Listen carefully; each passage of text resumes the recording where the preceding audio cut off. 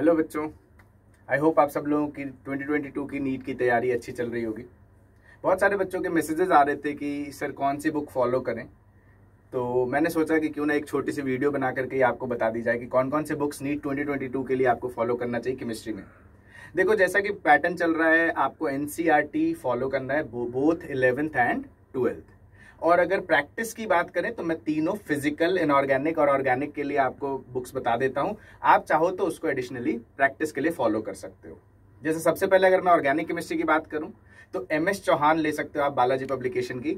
साथ ही साथ आप हिमांशु पांडे भी यूज़ कर सकते हो। मतलब दोनों में से कोई सा भी आप एक यूज़ कर सकते हो नीट के लिए ठीक है? फिर दूसरी बात इनऑर्गेनिक की अगर हम बात करें तो वीके जायसवाल ले सकते हो फिर से बा, बालाजी पब्लिकेशन की। लेकिन ध्यान रखिएगा नीट के लिए लेना नीट वाले ही लेना ठीक है? दोनों के लिए आता है वो आईआईटी और नीट दोनों के लिए, पर आप नीट के लेना ठीक है? तीसरी अगर मैं बात करूँ फ़िज़िकल केमिस्ट्री की तो अगेन सेम बालाजी पब्लिकेशन की आप एन अवस्थी ले सकते हो। लेकिन ये सब तभी जब आप एनसीईआरटी और जहाँ से भी आप पढ़ रहे हो, उनके नोट्स अगर आपने अच्छे से कर लिए उसके बाद भी अगर आपको प्रैक्टिस की ज़रूरत है तो these books are really going to help you all the best